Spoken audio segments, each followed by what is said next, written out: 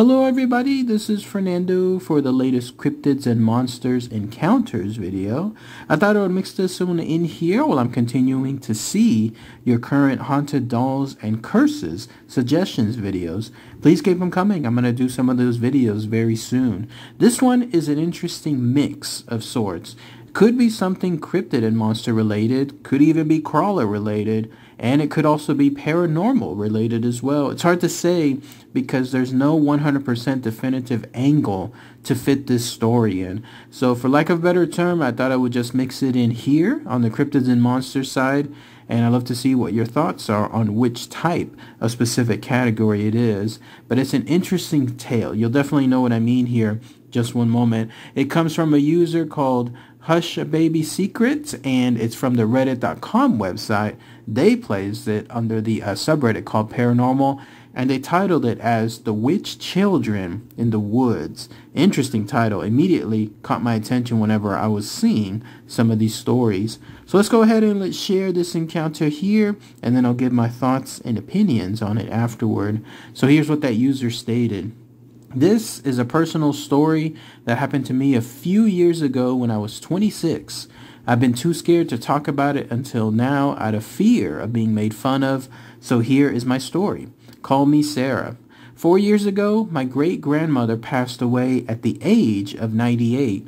We were close all the way into my adult years, so that death hit me hard. She lived in a one-story house in a rural town 30 minutes outside of Springfield, Missouri. Her house sat on a large and heavily forested piece of land. There was a large hill several hundred feet behind the house that dropped off into a creek. I spent almost my entire childhood staying on this piece of land and had learned how to take care of it and the house. After the funeral services, I volunteered to stay and take care of the land while my family decided on what to do with it. Unfortunately, I wasn't able to buy the land, so I wanted to spend as much time out there as I could. My first three days I spent packing up items and cleaning the house. The nearest neighbor was five miles away, so I didn't have to worry about any unwanted guests that would get in the way of my packing and disturb my personal way of mourning the loss of someone so close to me. The fourth day is when the odd events started occurring. I slept in a sleeping bag in the living room, and when I woke up, I immediately screamed. A few inches away from my face was a dead copperhead snake.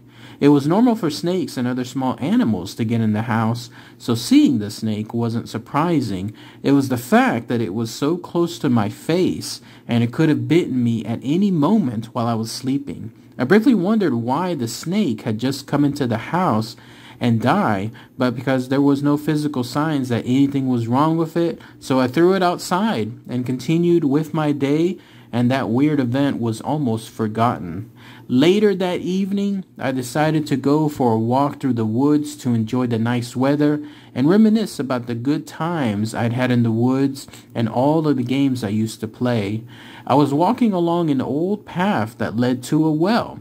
The path was a narrow one and was close to the drop-off that led to the creek. I heard a branch snap behind me and instinctively turned my head. I didn't see anything, so I assumed it was an animal and continued walking. Just a few minutes later, I heard a snap to my left and turned to look again, but still, I didn't see anything. I started to worry that I was being stalked by something, but it was rare to see large animals in this area, so I just continued walking. I heard a third snap directly in front of me, but now, instead of being worried, I was upset. I was convinced that someone else was out here trying to scare me, so I shouted at what I assumed to be a person, yelling, go away, and everything went uncomfortably silent. But I started to hear footsteps approaching in front of me, but I couldn't see anything. They got faster and faster until whoever or whatever it was was running right at me. I covered my face with my arms and waited to be attacked by some invisible person, but the footsteps stopped.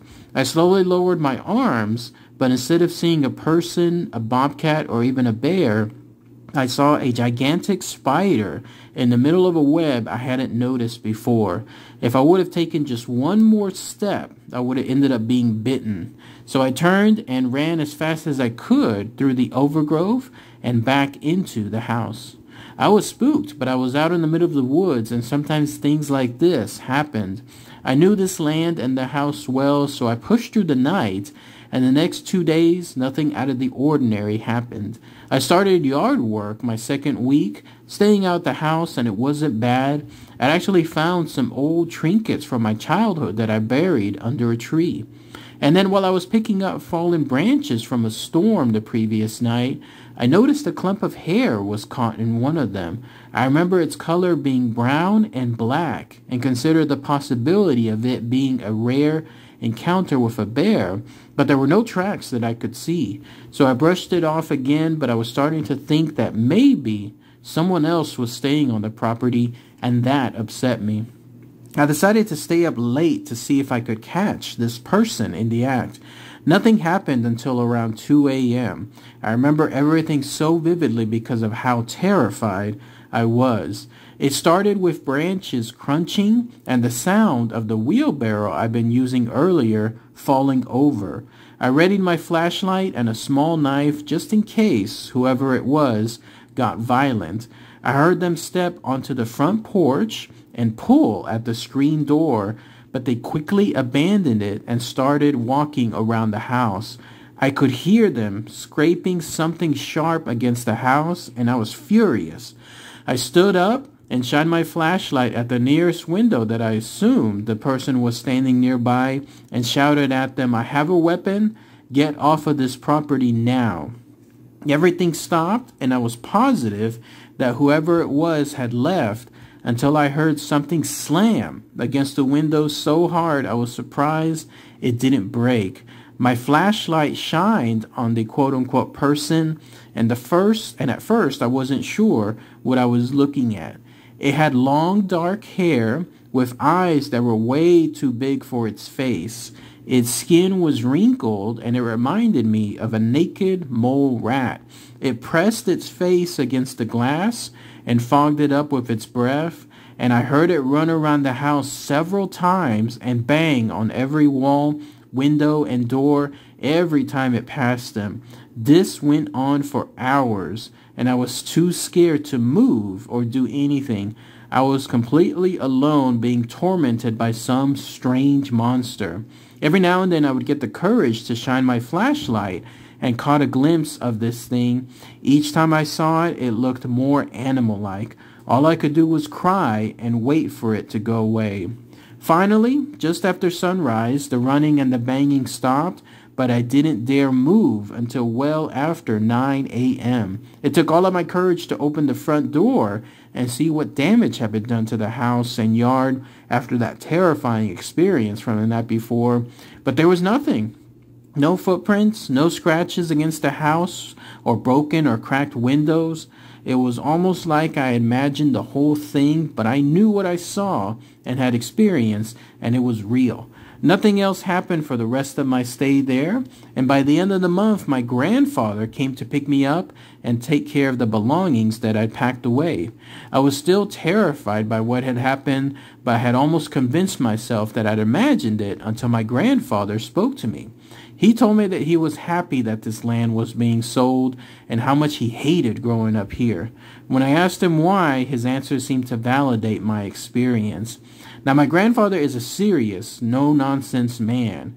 He was the type of person that stayed quiet, but when he did speak, you better listen because it was important. He was a hardened war veteran and devoted Christian, so things like paranormal and supernatural were just fairy tales for him. He made sure to tell his children and me and the rest of my siblings that. He told me how his mother, i.e. my great-grandmother, would always try to scare him and his sisters with stories about the land being guarded by monsters. The story says that these monsters, hybrids is what he called them, were the children of falsely accused witches. The people living in the area back when this was going on claimed that the children were part witch and part animal and needed to be killed, so they were left in the forest to die. He said that when the witch children died, they came back as spirits and claimed the woods as their own, and any unwelcome visitors would be tortured until they were literally scared to death. Just how they falsely accused mothers had been scared when they had been killed too. Now my grandfather said he didn't believe in much outside of his religion, but he believed that the hybrids were real and that he had been tormented by one of them when he tried to go hunting in the woods for the first time and shot his first deer. He believed he had upset the hybrids by killing an innocent animal and never stepped foot on the land with a weapon and they finally left him alone. Maybe this is a foolish thing to believe, but I believe that the story my grandfather told me is true simply because we both had similar terrifying experiences. If I had had a camera, I would have tried to take a picture of the creature, or if I could draw, I would post a picture of the drawing. I remember every detail about what I saw and will be burned into my memory forever. All of my childhood memories seem tainted now because of this experience, and now I don't think I'm going to miss the land as much as I first thought. It didn't take long for the land and the house to be sold. Those hybrids or whatever is out there can be somebody else's nightmare. One night was more than enough for me. And then that's it. That's everything that this user Hush by Baby Secret mentioned in their long story. So here's the, let's talk about it here essentially and then give, you know, my own thoughts and opinions on it. First off, fascinating tale, right? Looks like this happened just 30 miles outside of Springfield, Missouri. Those of you that are in that area, uh, especially in those wooded areas, as this user stated, it was a heavily forested piece of land that that house sat on let me know. Let me know if there really is this type of activity out there. But what is it, right? What is it exactly? Obviously, it's something that at one point was almost invisible. Maybe it was moving too quickly for her to see, but otherwise it was running straight towards her and she saw nothing. Instead, she heard those footsteps and then she heard what sounded like these feet running at her and then at the last moment, obviously, she nothing happened and she tried to block it, but there was nothing there to, for her to be able to see. I've been a close experience when it comes to footsteps, hearing them, um, and not seeing anything. There's two places that, that that has happened at, both of them actually involving uh, cemeteries. Um, one is over at the Arlington area involving the Cemetery of Lost Children, and then the other one was over in Huntsville. Uh, forget what the place was called there, but it's a cemetery that I visited too. It is an eerie experience um, it's a cemetery that involves that black Jesus statue, if you want to know specifically. But yes, it's an eerie experience because when I was walking, I could hear footsteps mimicking my footsteps, uh, like maybe half a second after each footstep that I did. It was I thought it was a coincidence at first, but once it was a tracking pattern and people heard it on the live streams too, it's real. So the fact that you have something like this running at you that's a whole other level when it comes to this thing. Luckily, though, I never had the experience involving if this was a crawler, if this thing was essentially is what she saw out there. She described it as pale. She described it as wrinkled, and it looked like a monster, for lack of a better term. So there it was, running and running around that house that fateful night, slamming every window, um, whatever it had, like its paw or its actual hands, slamming it against the windows and against the doors and against the walls for hours on end. Can you imagine that? Can you imagine just being in that situation?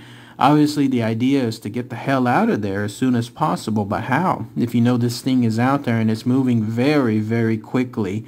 I'm surprised she didn't reach out to try to call the cops. I mean, uh, what would the cops say in a situation like that, right? But still, having somebody else, another witness, be able to come out, that would have been something else, like another type of, of, of person to corroborate that info. I'm surprised too, once again, that there was no photography, no videos, especially if this was happening for hours.